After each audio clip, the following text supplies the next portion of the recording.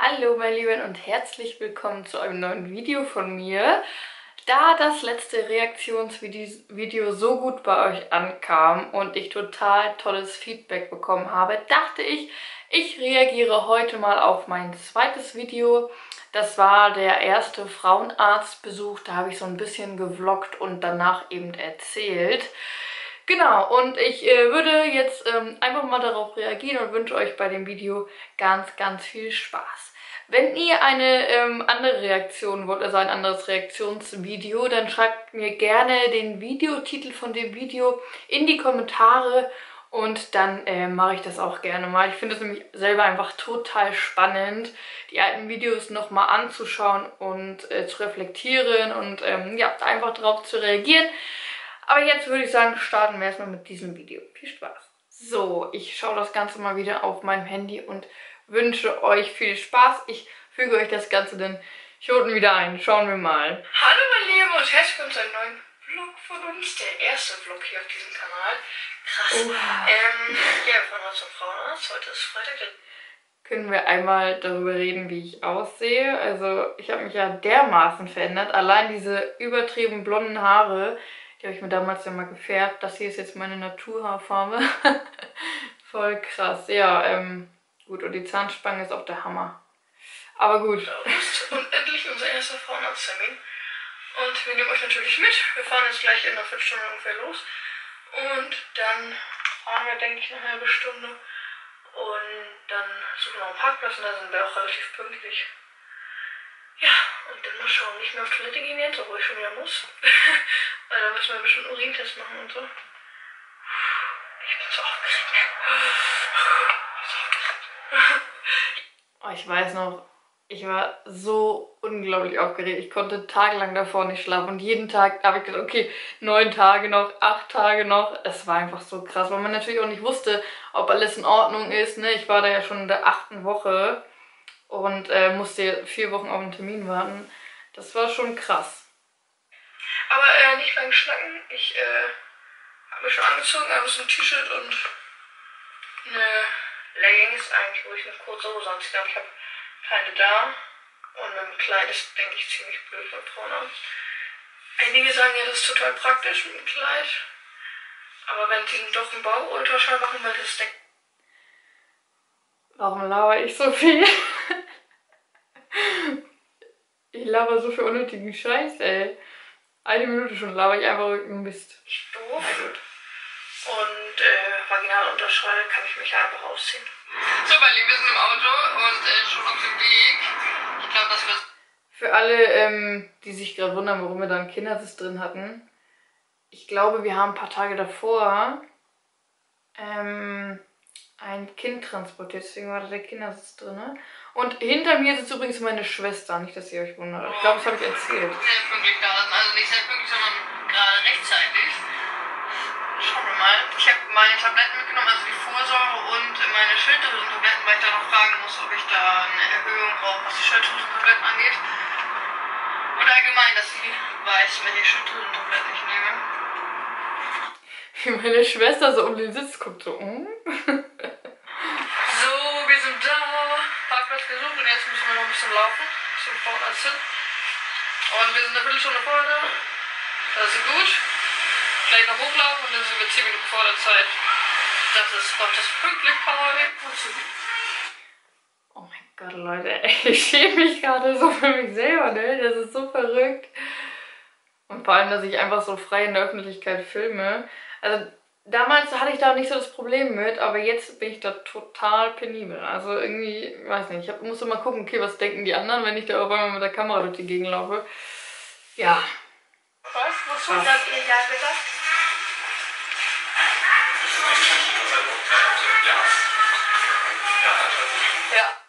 Diese Szene hätte ich mir auch klemmen können, oder? Also dieses Gewackel da und dieses Gespräch, was auch immer wir da gerade ähm, erzählt haben. Das wäre so, so was Typisches, was ich jetzt rausschneiden würde. Vor allem ist das so schrill, ey, so, so laut. So, mein Lieben, wir sind jetzt zu Hause. Da waren wir bereits wieder zu Hause, wie man sieht. Schauen wir mal, was das Update sagt, die letzten sieben Minuten. Das ist auch schon ein bisschen länger her, aber ich hatte einfach keine Zeit, das Video zu Ende zu drehen. Und deswegen drehe ich das jetzt hier zu Ende ganz spontan und wollte euch natürlich erzählen, was und wie es bei Frauenarzt gelaufen ist. Wir haben unseren Mutterpass bekommen. Genau. Denn äh, dem Baby geht es super. Wir haben auch das Ultraschallbild bekommen. Und ich finde es einfach so krass, wenn man überlegt, dass dieses Baby jetzt einfach bei mir im Schlafzimmer liegt und gerade ihren Mittagsschlaf macht. Es ist einfach so Wahnsinn. Es ist einfach immer wieder ein Wunder, finde ich, dass es sowas wirklich so eine Mini-Zille einfach so, so ein kompletter Mensch wird, der jetzt hier durch die Gegend rennt und brabbelt und jeden Tag was Neues lernt. Das ist einfach, ich begreife es immer nicht. Also irgendwie, das kommt einem immer so unwirklich vor, finde ich. Ihr könnt ja mal in die Kommentare schreiben, wie ihr das findet, aber ich finde, das ist einfach so, einfach so krass. Also einfach so, ja. Das möchte ich auch gleich alles zeigen. Ein Wunder. Jetzt gut, wir wurden zwei Tage korrigiert. Das heißt, am Freitag waren wir in der siebten Woche und jetzt sind wir aber seit gestern in der achten Woche. Also einfach nur um zwei Tage korrigiert.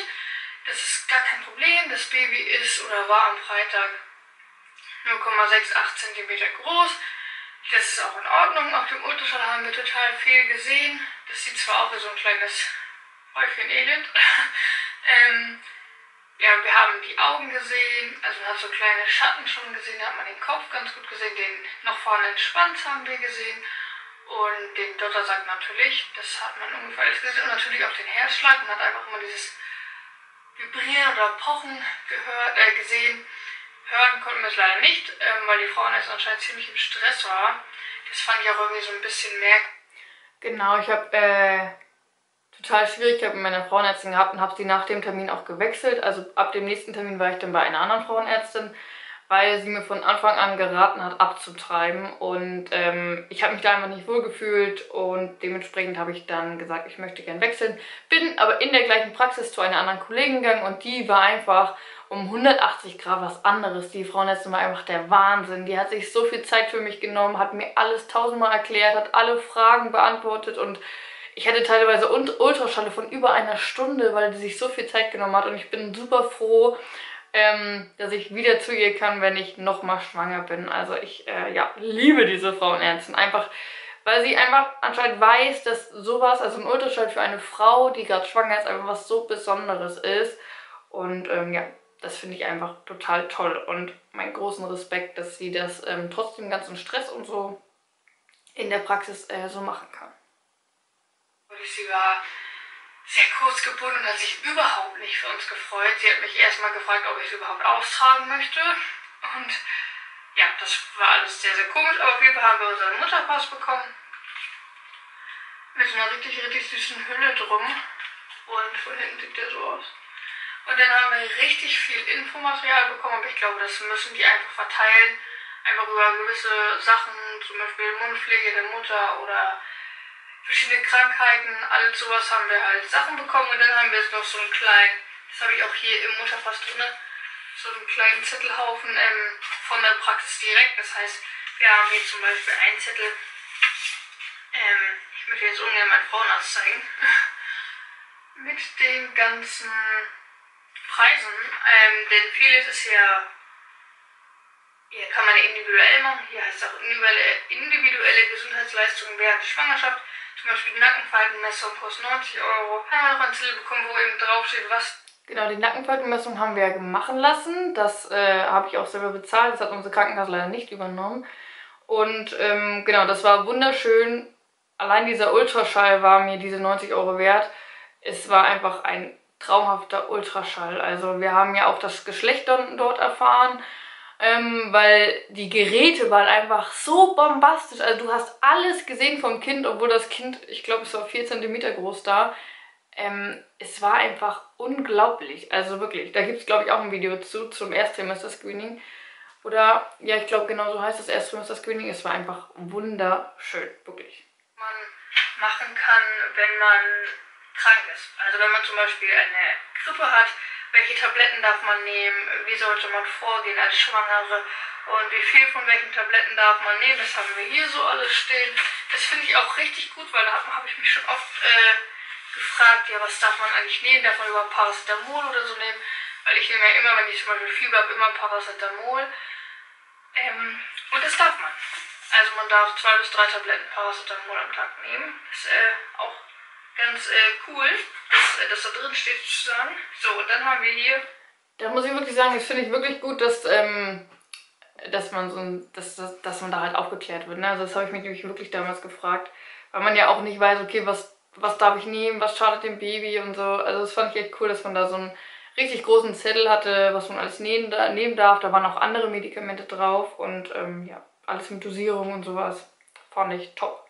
Nochmal ein Pluspunkt für meine Frauenarztpraxis. Natürlich äh, das erste Ultraschallbild, das zeige ich euch jetzt auch mal. Das haben wir schon tausendmal kopiert und an jedem verteilt. Ähm, ja, tatsächlich hängt das bei meiner Schwester sogar immer noch im Schlafzimmer. Neben, also auf ihrem Nachtschrank äh, steht das immer noch, weil wir das wirklich jedem gegeben haben, weil wir einfach so unglaublich stolz waren. Genau, mein Nachname ist nicht so schlimm, falls euch das irgendwie beruhigt jetzt. Also das ist dieses Unterschaubild und das ist natürlich Fruchthülle. Das hier ist das Baby, von hier bis hier, also das, das dicke da. Und das hier unten ist im Endeffekt der Dottersack, was, was man da dann noch so extra sieht. Genau, so sieht das Ganze aus. Hier sieht man nicht so viel drauf, aber auf dem Ultraschall, also auf dem großen Gerät, hat man total viel gesehen. Auch der Dottersack war viel ausgeprägter und so. Und hier war es eben. Da kann ich mich zum Beispiel gar nicht mehr dran erinnern. Also ich habe immer nur dieses Ultraschallbild im Kopf. Äh, aber wie das da so in der Praxis war, keine Ahnung, kann ich mich gar nicht mehr dran erinnern. Wie gesagt, 0,68 cm und sechste Woche plus vier Tage ist ja siebte Woche. Und genau, das Ganze war am 3.8. Und dem Baby geht's soweit gut. Den nächsten Termin haben wir am 15.8. Da wird dann der Geburtstermin festgelegt. Obwohl wir auf zwei Tage zurückkorrigiert wurden, ist der Termin immer noch der 22.3. bis jetzt. Und am 18.9. haben wir dann das Ersttrimester-Screening. Ähm, wegen Nackenfaltenmessung und so, das bezahle ich selber, das muss man auch selber bezahlen. Wie wurde schon gesagt, das kann man irgendwie bei der Krankenkasse wiederholen, sozusagen das Geld, aber wenn nicht, ist es mir auch egal. Ich äh, mache das in jedem Fall äh, selber. Dann hat sich hier noch ein paar Sachen eingetragen. So, erste, wie der erste Termin war, was ich gewogen habe. 44,8 habe ich gewogen und halt auch, dass ich korrigiert. Ich war so unglaublich schlank, ne, Leute. Und ich habe mein Gewicht einfach komplett wieder zurück. Es ist einfach ein Wunder, wirklich. Ich kann es immer nur wieder sagen, dass wir Frauen einfach so ein Kind gebären und danach wieder meistens, vielleicht nicht immer, aber so aussehen wie vorher. Das ist so krass. Und äh, am Anfang der Schwangerschaft habe ich immer gedacht, oh scheiße, wenn ich nachher aussehe, ne, wenn ich mein Gewicht nicht wieder kriege und so. Ich habe mir so krass Sorgen gemacht und jetzt ist es mir so egal. Also mir war nach der Geburt, also ich hatte Lia im Krankenhaus auf dem Arm und habe zu Felix gesagt, ey, scheiß drauf meinen Bauch, ne, scheiß drauf, weil ich hatte ja immer noch so eine kleine Kugel da, nach der Geburt ist es völlig normal. Ich habe gesagt, scheiß drauf, ey, ich habe hier so ein Baby zur Welt gebracht und scheiß drauf, dass ich unten gerissen bin und da jetzt voll die fette Narbe habe mein ganzes Leben lang. Scheiß drauf, dass meine eine Schamlippe komplett zerfetzt ist, ey, aber man hat einfach ein Baby auf die Welt gebracht, ne, das ist einfach was so Wunderschönes und, ähm, ja, da sollte man nicht auf sowas achten zum Beispiel. Wurde, dass man die Herztöne gesehen hat und äh, dass sonst alles in Ordnung ist. Dass ich Folie Forte nehme und so ein Kram, das äh, haben wir auch alles. Und dann haben wir hier noch Ultraschalluntersuchungen haben wir auch noch, dass korrigiert wurde, dass, äh, dass, dass der Embryo sichtbar ist, dass es Herztöne hat, dass es, äh, ob es denn Zwillinge sind, das sind es nicht. Ich ähm, habe mich ein bisschen gewundert, warum das noch so klein aussieht, aber es soll wohl normal sein, beziehungsweise wurden wir ja extra zurückkorrigiert, was die Größe angeht von dem. Tatsächlich wurden wir beim nächsten Termin nochmal um vier Tage korrigiert, das heißt insgesamt um sechs Tage korrigiert. Ähm, ja, und im Endeffekt kam Lia trotzdem zwei Wochen zu früh.